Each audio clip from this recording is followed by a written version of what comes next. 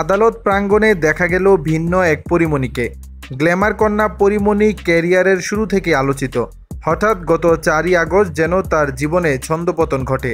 সেদিন র্যাবের একটি দল তাকে আটক করে। সে সময় পরিমণির চোখে মুখে ছিল চিন্তার ভাঁজ।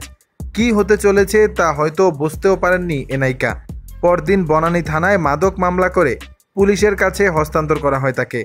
এরপর একাধিকবার আদালতে হাজির হতে হয়েছে পরিমণিকে। বিপুল সংখ্যক পুলিশ পাহারায় তাকে আদালতে নেওয়া হতো।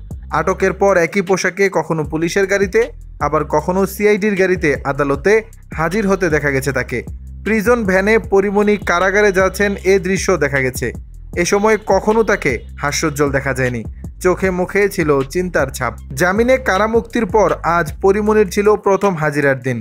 আজ আর তাকে কেউ আটক বা গ্রেপ্তার করে নিয়ে যায়নি। তিনি নিজেই গাড়িতে হাজির হন আদালতে। আজও আদালত প্রাঙ্গণে ছিল উপচে পড়া ভিড়। জনতা আজকের ভিড় হয়তো উপভোগ করেছেন এই নায়িকা। পনেরোই সেপ্টেম্বর হাজিরা দেওয়ার জন্য বেলা এগারোটা পঞ্চান্ন মিনিটে পরিমণি, ঢাকা মেট্রোপলিটন ম্যাজিস্ট্রেট সত্যব্রত শিকদারের আদালতে হাজির হন। আদালত চত্বরে আসার পরেই তিনি ভক্তদের হাত উঁচিয়ে অভিবাদন জানান। হাস্যোজ্জ্বল পরিমণি এবারও তার হাতে মেহেদির রঙে লেখা একটি বার্তা দিয়েছেন। সব মিলিয়ে আজ আদালত প্রাঙ্গণে দেখা গেল ভিন্ন এক পরিমণিকে। আদালত প্রাঙ্গণে আজ ছিল না পুলিশের বিশাল পাহারা।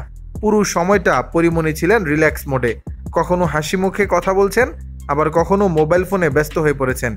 আটকের পর আজ প্রথম আদালতে হাসি খুশি ছিলেন এ নায়িকা। মাদক মামলায় দীর্ঘ সাতাশ দিন আটক থাকার পর কাশিমপুর কেন্দ্রীয় মহিলা কারাগার থেকে গত পহেলাই সেপ্টেম্বর সকাল নয়টা বত্রিশ মিনিটে জামিন পেয়ে কারামুক্ত হন তিনি। সেদিনও পরিমণিকে হাস্যজ্জ্বল দেখা গেছে, যেন মুক্ত আকাশে উঠছেন পরিমণি। দর্শক, বিষয়টি নিয়ে আপনাদের মতামত জানাবেন নিচের কমেন্ট বক্সে